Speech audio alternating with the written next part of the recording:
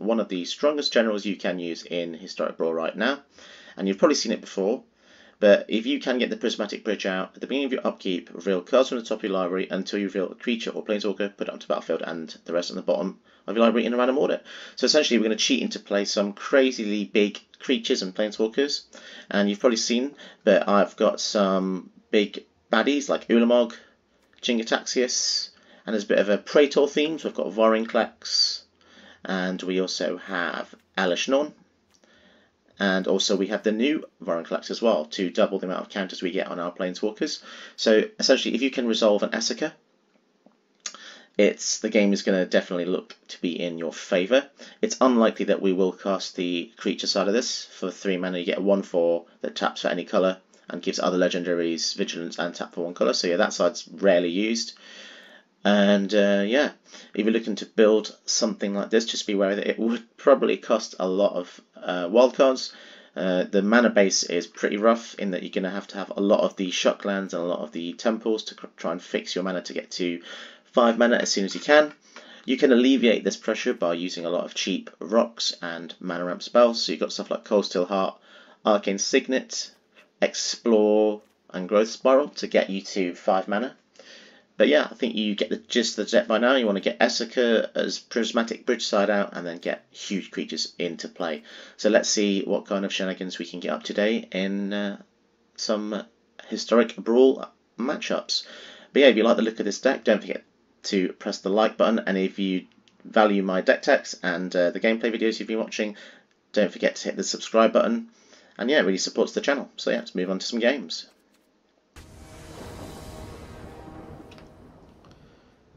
Okay, so we're facing against a Winota deck, so they're going to be very aggressive, and our hand is incredibly slow. Um, the opponent's going first as well, which is not good. We don't have any interaction early games. I think we're going to have to mulligan this hand.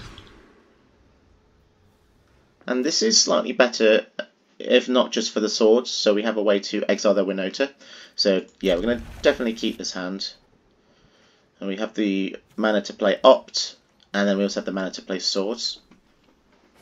So when you play Esika, I think the weighting of the matchups mean that I'm going to be facing a lot more harder opponents, so we have to be very aware of that. So God, also another good card versus the Swarm decks. So they're going to get turn 3 Winota, which is really bad for us. So now we have to play the the untapped plains, otherwise they're going to be able to hit us really hard here. Okay, so they choose to not cast the Winota, interestingly. they're being a bit more reserved. But if they do cast it next turn, then that basically means they win the game, I think. So we're looking for more lands here.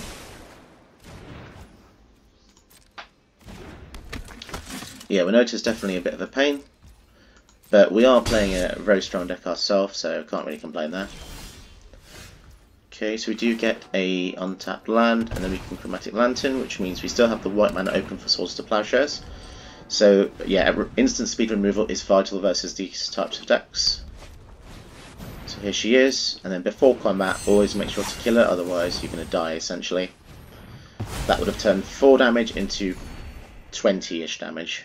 Um, so they only have 4 mana now, which means they can't cast her again until they get 6. So this is where we want to go Wrath of God to finish their board. And then we play another land. And then hopefully next turn we can get the Prismatic Bridge out and try to stabilise. Okay, fantastic. So yeah, that's Temple. We probably want... Okay, so it's not a land or a creature, so yeah, we'll just go for a Prismatic Bridge and hope for the best. They could have removal for it, but sometimes you have to put all your eggs in one basket. So land means Winota, and they get one trigger with Clarion Spirit. Let's just hope it's not something like a Kenrith. Angrath's Marauders. Okay, that's uh, definitely a scary one. So that's uh, sort of a source you control will deal damage. It deals double that damage. So we just got taken down to six there, which is pretty devastating. And I think we have to destroy the, let's see, so we can destroy the Angrath's Marauders because that's double damage, so that would definitely kill us. And then I think, yeah, we have to go for Ugin and then destroy Winota. Okay, so hopefully they don't have anything with haste, or we're going to take... Uh, well, it could be lethal if they have something with haste. But we're going to have to try and stabilise here with a prismatic bridge. The Angrath's Marauders was definitely a scary one there. So luckily we still Ugin, so Ugin makes blockers with its plus one. Okay, so it's a new card from Innistrad, Midnight Hunt. What have we got this time? So we've got a Sheoldred, that'll be nice to get rid of some of the creatures.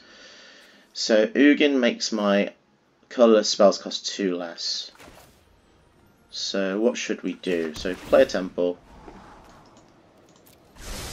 Any creatures in the graveyard? No creatures. And Elesh Norn would be incredibly good right now. Three, four, five, six. And what to do? Well, we definitely want to create a blocker. Truth lies beyond vision. And how much is that? Two. Yeah, I think we're just going to have to play the other Ugin here. And then we can minus... Yeah, obviously that's uh, two Ugins is a bit much. But yeah, that was a pretty cool combat there. Moving on to the next game. So we're facing off against an opponent's Esika, and they're going to go first, which is never a good sign. We do have a way to ramp, and we do have a way to kill their bridge. So yeah, let's see how this goes. This could end badly. Okay, so try and play all the tap lands, which are really useful for fixing your mana. Faithless looting is pretty good here. Let's just get rid of some of our bigger drops. So getting rid of the... I think we're going to get rid of Koma and Vorinclex just because they're the most expensive spells. We do have a few ways to resurrect creatures, so if we do happen to get one of those out, that would be pretty handy. So they're going to get their bridge out in the following turn, which is bad for us. However, we can cultivate, which ensures we can Elspeth Conquers Death. So let's get out a swamp.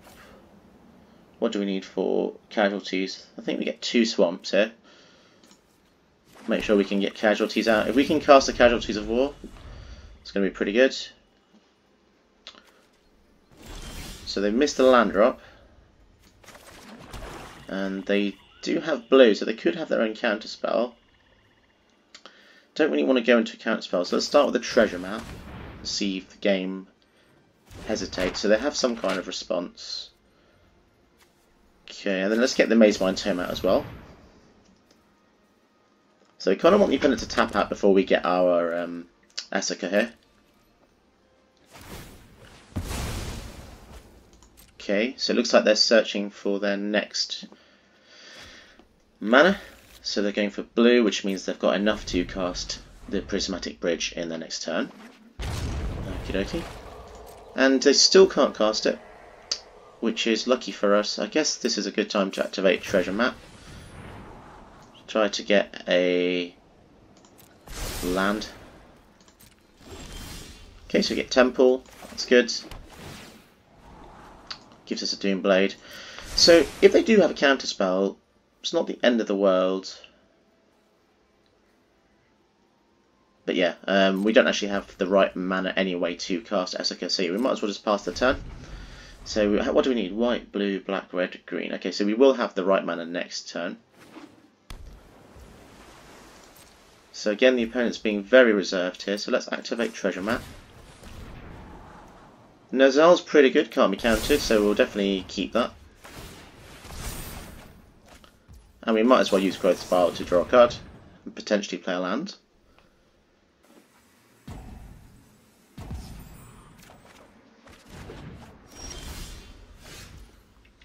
Okay, so let's play a mountain and then we can do a number of things really.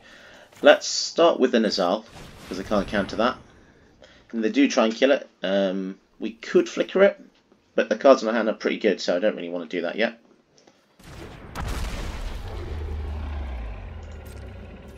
Okay, so the Nezal sticks around, which is pretty decent. If we can untap with Nezal on the field, this will be a great way to finish them off in a few hits. So if you've not seen Nazal, whenever the opponent um, casts an non-creature spell, you draw a card. Already a fantastic line of text. But you can also discard three cards to exile Nazal, and then it returns to the battlefield tapped under its owner's control at the beginning of the next end step. So the opponent tries to murder this or board wipe, you can protect it from these things, and then it comes back later.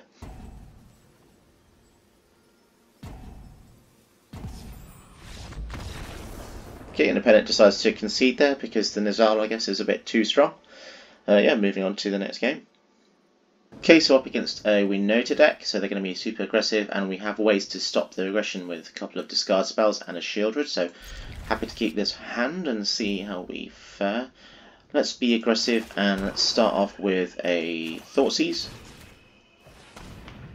Try to slow them down a bit. So what do we have? Turn 1 plays. They're only turn 1 plays. So I guess we could go for Yeah, go for Raise the Alarm, I think, because that gives them two creatures. And then next turn we can Inquisition to get rid of another...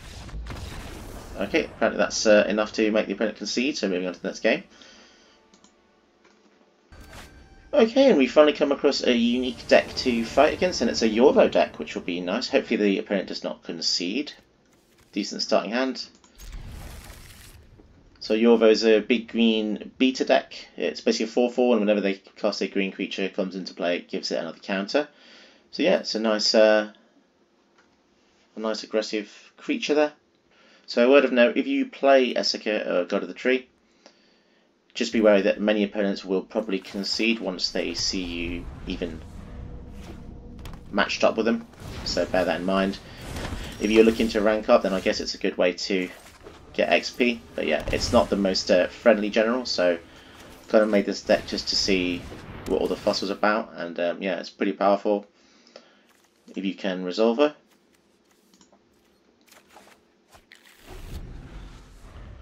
So the following turn we can get out the Heraldic Banner. And then that's one step closer to getting the Prismatic Bridge. So the opponent might have ways to destroy enchantments, so you have to be wary of that. I think we choose white because we have a Wrath of God that we want to cast eventually.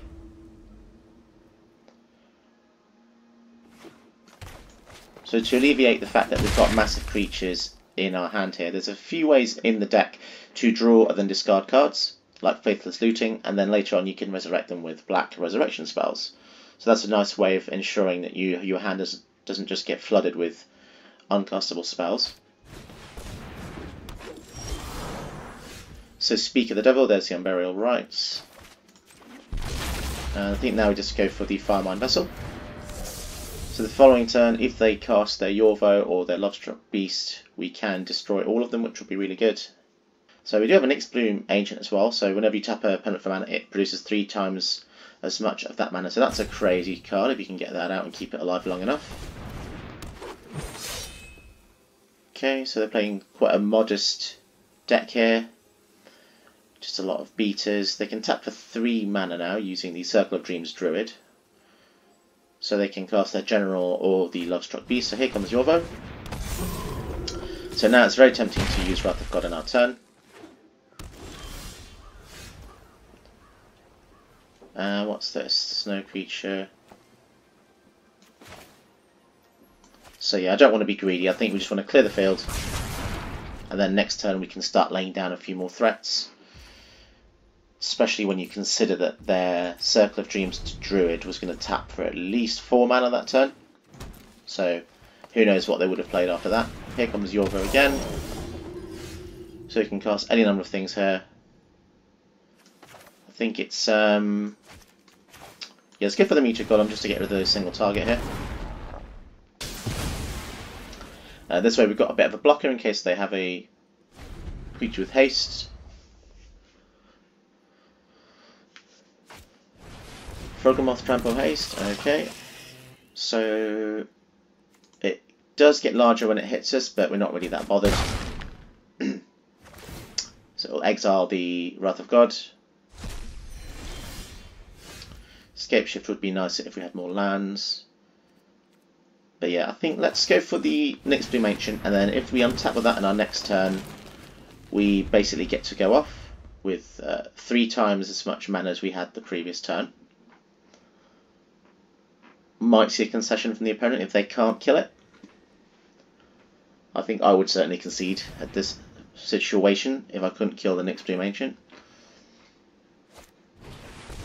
Tell me in the comments below how much mana you've ever got from a Nyxbloom Ancient. Ooh, okay, so they managed to destroy it there with the generator. Cool, fair enough. So the game goes on here. That does mean we get to play more fancy spells. So yeah, I think uh, yeah we don't want to mess around anymore. Let's destroy the creature under one of their lands.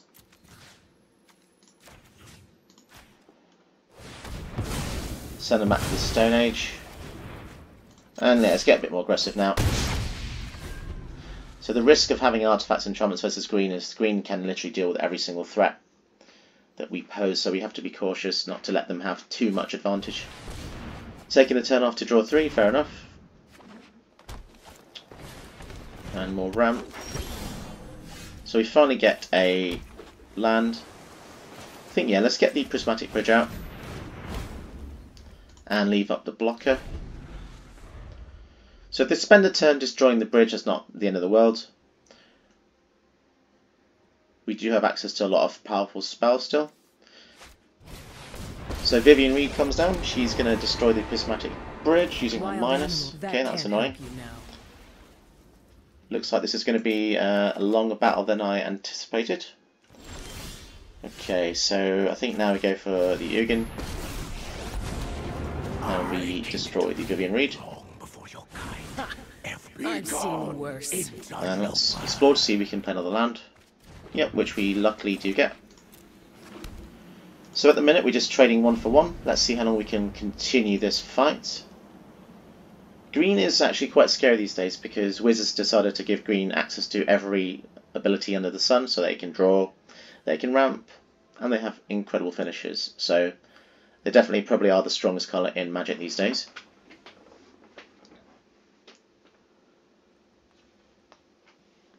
We do have a pretty good board presence, but again, they could play something like the Great Henge and then more creatures eventually to drown us in card advantage, so just have to get lucky now and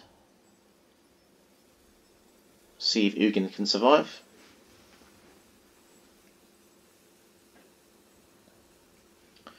We do have a nice trick with Scapeshift. If we do get another land, we can sacrifice most of our lands to get out um, field the uh, Field of the Dead, which means we get loads of zombies as well.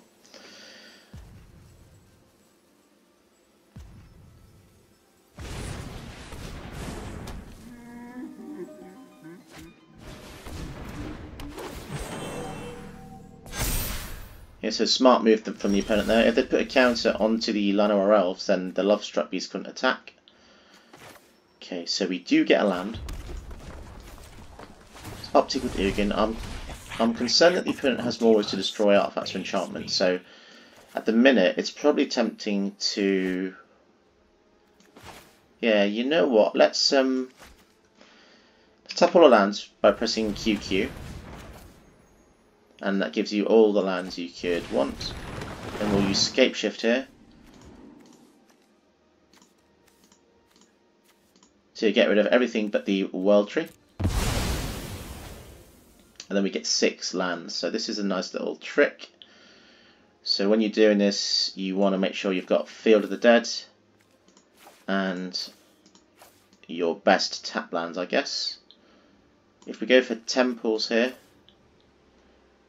we can have a few Scry triggers as well. So as you can see, the Field of the Dead sees every land trigger, so you get that many zombies. And Growth from the Ashes is actually weirdly good as well with the Field of the Dead the following turn. So unfortunately we do have a lot of mana we can't use, which is quite infuriating. Um, but yeah, oh well, we did get a lot of zombies out of that.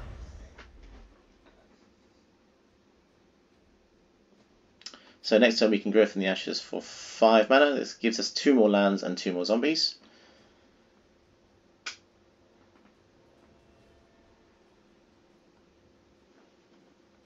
We unfortunately don't have any good creatures in the graveyard because they exiled it with Froghemoth, so we can't even resurrect anything with Unburial Rites. So here comes an attack from the Lovestruck Beast.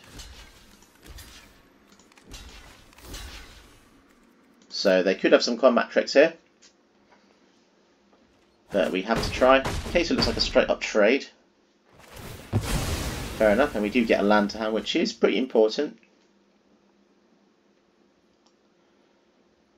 So the game goes long, Field of the Dead we definitely have on our side to push us up and over. Probably a bit too deep in the think tank. I do wonder sometimes what opponents are doing when they're trolling me or uh, running the timer down. I mean, yeah, some moves do take a long time to orchestrate, but there comes a limit, I think. Primal Command, interesting. So they're putting the ramp spell on top. That's a very curious move. I'm going to draw it in my next turn, and Ugin makes me cast it for two less cost. Okay, so Vorinclex is primed for the following turn. Yeah, very strange move there.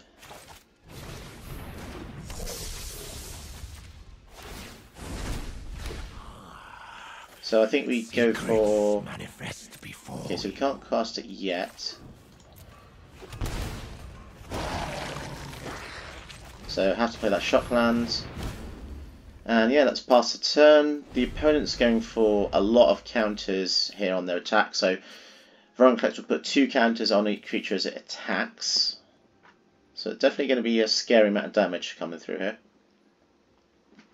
It will take up their whole turn to cast their Vorinclex.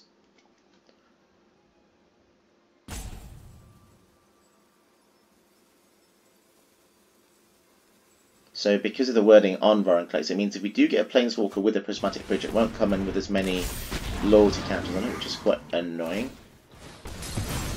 Wow, so they have a, yet another way to kill our artifacts and enchantments. Okay, that's definitely a very strong card there. Just removes a counter to destroy artifact or enchantment, so that's definitely going to have to go eventually. Ether itself so I think we go for the Bolas here. And yeah, we're definitely going to want to kill the Steelbane Hydra. Apparently the opponent's entire deck is just made of artifact and enchantment removal. Okay, so it's gonna that's getting quite annoying. And so how many ways have they used here? So they've used one, two, three, four spells that have got rid of artifacts and enchantments. So they're definitely prepared for this matchup. But we're definitely going to make the opponent work for their victory if they do get it. Ugin is able to destroy a permanent that's one or more colours in our following turn if it survives. So the opponent might have to choose here which Planeswalker they try and kill. We do have a lot of blockers, totaling 8, 9, 11, 12, 15 toughness. And we do have an Elesh Norn hidden underneath this Spirit Manifest token. So here comes Vorinclex. Dokie. Will they attack? If they do, I'll certainly block. If Bolas survives, I'm tempted to make each opponent exile two cards from their hand, which could definitely help us in this fight. So here comes the attack. Oran goes to a 5-5. So this is an easy block for us. We definitely want to take out as many of these as possible. I'm not sure if that was the right move doing that, to be honest, but I guess it's a desperation move, trying to get rid of our Planeswalkers. Kind of makes sense, but now the Vorinclex can't stop our loyalty going up, which, yeah, I think that was probably the final uh, nail in the coffin attacking like that. Especially now we're going to disintegrate their hand, punish them for Okay, so they've that? got a counter strategy, it seems. They could have another artifact or enchantment removal, so this is probably the time to go for Professor Onyx. and then punish them again by making them sack. We have looks to be like the final move needed. Cool. So yeah, don't forget guys, if you've enjoyed watching this video, don't forget to hit the like button. And if you've got something from this video, like some tips or some helpful advice on to how to build your Esika deck, don't forget to hit the subscribe button to get more cool videos like this that may help you in the future. And yeah, until then, have a good day, and uh, see you guys later. Bye.